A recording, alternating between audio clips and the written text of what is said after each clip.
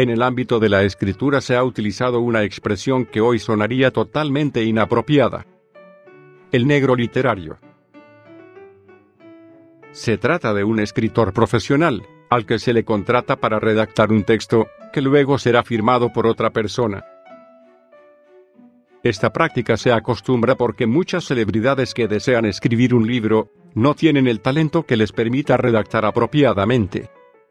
De esta manera, políticos, artistas famosos y otras personalidades, contratan escritores fantasma, para que le den un estilo literario y un sentido estético, a sus ideas o a sus memorias. El negro literario es un profesional que voluntariamente renuncia a sus derechos a cambio de una remuneración. Y el desafortunado término tiene su origen en las desventajas laborales de una actividad que no supone prestigio para los verdaderos creadores. Por desgracia, estas prácticas también existen en el ámbito de los escritores que se dedican al arte literario más elevado. El caso más sonado es el de Alexandre Diuma oficialmente autor de Los Tres Mosqueteros, El Conde de Montecristo, La Reina Margot, y cientos de novelas más. Obras de las cuales jamás se sabrá hasta dónde fueron concebidas realmente por el escritor francés. Diuma llegó a reconocer a 63 negros, escritores fantasma, que en algún momento habían trabajado para él.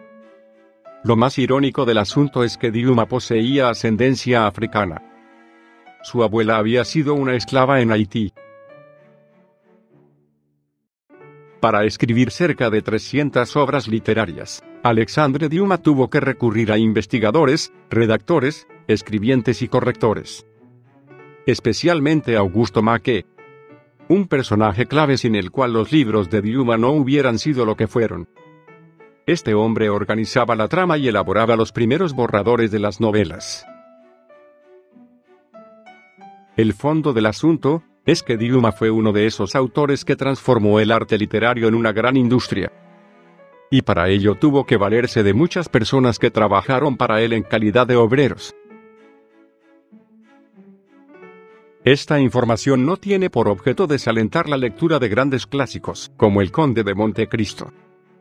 Por el contrario, invitamos a apreciar el eficiente trabajo de un gran equipo, dirigido por uno de los autores más populares de todos los tiempos. Para finalizar contaremos la siguiente anécdota. Se dice que en una ocasión, un orgulloso Alexandre Diuma, le pregunta a su hijo, ¿Has leído mi última novela? Y el vástago responde, Sí, padre. ¿Pero la has leído tú?